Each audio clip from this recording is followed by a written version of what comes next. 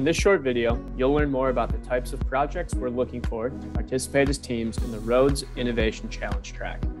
Roads is the challenge track in NextCycle Michigan focused on the use of recycled materials that are in need of end market development to improve Michigan's road and path infrastructure.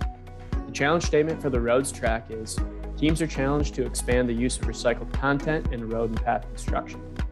We're using a broad definition of roads and paths for the challenge track, which includes the use of recycled materials in roads, road bases, and other paved surfaces, paths, trails, roadside growing medium, and related green infrastructure.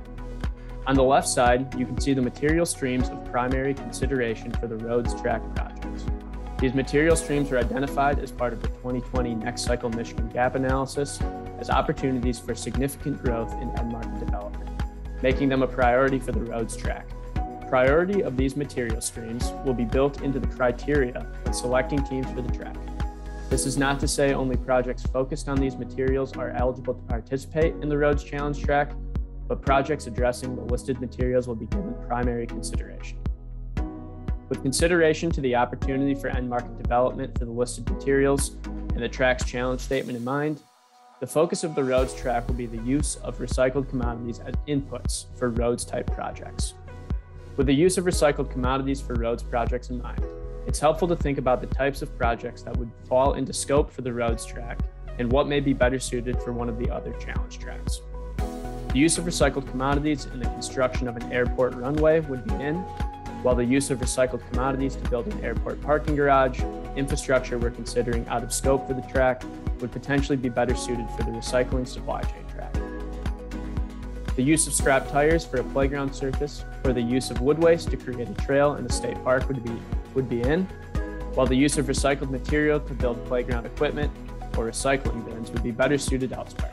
Potentially the Recycling and Innovation Technology track or the Intergovernmental Initiatives and Public-Private Partnership track. The use of finished compost in the revegetation of transportation projects would be in, while the actual processing of food waste into compost would be better suited for the organic. And finally, the use of mixed plastic or recycled content to create something like a railroad tie or road surface would be in, while the actual recycling of used rail, railroad ties or old road would fall into another track. As a reminder from an earlier video, teams are eligible to participate in the Roads Challenge track if they meet the following criteria.